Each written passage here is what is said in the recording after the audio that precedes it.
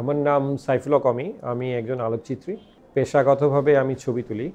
তবে একটা বড় পরিচয় যেটা নিয়ে আমি খুব গর্বিত, সেটা হচ্ছে আমি নিয়মিতভাবে মাস্টারি করি, পড়াই।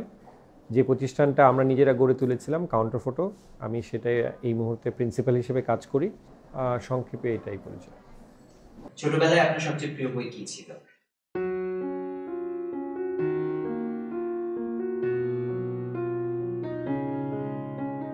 ছোটবেলায় প্রথম যতটুকু মনে আছে ফার্স্ট ফ্যাসিনেটেড ছিলাম তিন গোয়েন্দা নিয়ে। আমার মনে হয় এটা সকল কিশোরের মতনই। তিন গোয়েন্দাটা খুব মনোযোগ দিয়ে পড়ছি এবং তারপরে যখন একটু বয়স টয়স হলো, সম্ভবত মাসুদ রানা, প্রেমের উপন্যাস পড়ার কোনো আগ্রহ আমার জন্মায় নেই। সেটা কেন হয়নি জানি না, হয়তো ছোটোবেলা থেকে একটু সিরিয়াস টাইপ লোক ছিলাম, অথবা প্রিটেন্ড করতে চাইতাম যে সিরিয়াস লোক আমি। তারপরে বোধ হয় হুমায়ুন আহমেদ পড়ছি কিছু। I I am still fascinated অন্য ভ্যালু যাই হোক না কেন। প্রথম সিরিয়াস বই অবশ্যই আমার টিচারের যার ইনফ্লুয়েন্স আমি খুব প্রাউডলি ক্যারি করি এবং আমি যে কোনো সুযোগে বলি আমি ওনার ডিরেক্ট ছাত্র, আখতারুজ্জামান ইলিয়াস। ওনার সঙ্গে আমার মনে আছে, আমি তখন অন্য ঘরে অন্য স্বর খুঁজছি।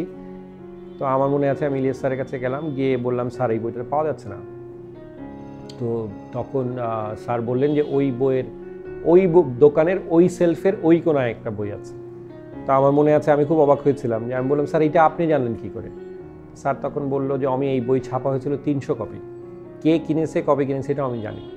তো আমি কথা বলছি উনিশশো পঁচানব্বই সালের কথা, যখন আমি ইন্টারমিডিয়েট ফার্স্ট ইয়ারে পড়ি।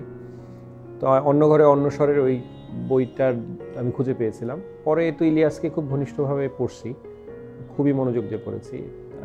অনেক কিছু বদলে গেছে ইলিয়াস পড়ার পরে। চিলেকোটার সেপাই বোধহয় তিনবার পড়েছি ওই ইন্টারমিডিয়েট সেকেন্ড ইয়ারে থাকতেই বোধহয় যতটুকু মনে আছে। সেইটা আমাকে অনেক কিছু শিখিয়েছে। ন্যানের ব্যালেড অফ সেক্সুয়াল ডিপেন্ডেন্সি বলে একটা বই আছে। আলোকচিত্রীদের অবশ্য পাঠ্য বই। আমার, আমি মনে করি দুনিয়ার সবচেয়ে সেলিব্রেটেড ফটোগ্রাফার এখন অনেক one of the celebrated photographer এই বইটা আমাকে খুব প্রচণ্ডভাবে নাড়া দিয়েছিল। জগৎকে একটা সরলরেখায় দেখার যে টেন্ডেন্সিতে আমরা, যারা কনসার্ন ফটোগ্রাফি প্র্যাকটিস করে, তাদের যে টেন্ডেন্সি সেইটা খানিকটা অনেকভাবে নতুনভাবে রিডিফাইন করেছে এই বইটা। এবং এই বইটার কাছে আমি বহুবার ফিরে গেছি এবং এখনও যাই। আমার প্রয়োজনে আমি বই পড়ি।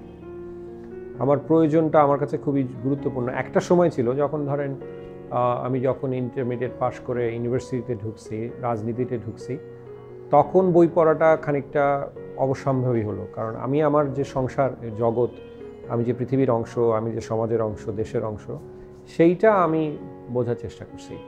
এবং বুঝতে গিয়ে দেখেছি যে আসলে একটা অসম্ভব ব্যাপার। আমি যে সমাজ, আমি যেখানে বসে আছি, সেটার কার্যকারণ ব্যাখ্যা করার জন্য যে বিজ্ঞান দরকার, যে সমাজটা বোঝা দরকার যেভাবে জগৎ সংসারের সাথে ইন্টারাক্ট করা দরকার, এইটা আসলে বিদ্যা ছাড়া, বুদ্ধি ছাড়া হয় না। এবং বই ছাড়া আপনার কোনো বন্ধু নাই। যে আপনাকে সত্যি সত্যি দিশা দিতে পারে। তো তখন বাধ্য হয়েও অনেক কিছু করতে হয়েছে এবং তখন যা পড়েছি, প্রায় পনেরো বিশ বছর পরে এসে আমি এখন যখন আমার ক্লাসে পড়াই, আমার কাছে বিস্ময়কর লাগে।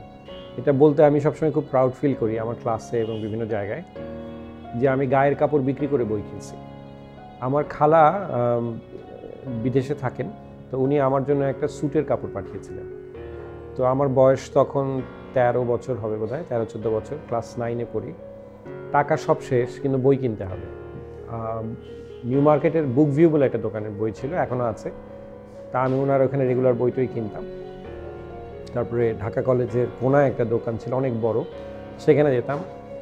তো এখন কোনোভাবেই টাকা পয়সা নেই। তো আমি গিয়ে আমার এই স্যুটের কাপড় আসলো যে আমাকে উনি পাঠিয়েছেন। আমার মনে আছে সেই স্যুটের কাপড় উনিশশো বিরানব্বই, তিরানব্বই সালে আমি চোদ্দোশো টাকায় বিক্রি করেছিলাম। And I spend all my money on that on those books আমার একটা ছোট মেয়ে আছে, এখন তিন বছর হয়নি আমাকে যদি প্রশ্ন করা হয়, আমি তার জন্য কি রেখে যাব যখন আমি মারা যাব? সাধারণভাবে মৃত্যু হলে যে বয়সে মারা যাওয়ার কথা, আমার মনে হয় তার জন্য আমি একটা দুর্দান্ত লাইব্রেরি রেখে যাব। এবং আমি খুব মনোযোগ দিয়ে সে লাইব্রেরি বানাচ্ছি এবং আমি খুব প্রাউড আমার লাইব্রেরি নিয়ে। এই অর্থে যে এটা অনেক বই আছে তা না, হয়তো হাজার চার, সাড়ে চার হাজার বই এখন পর্যন্ত কিন্তু আমি খুব যত্ন করে বানাচ্ছি।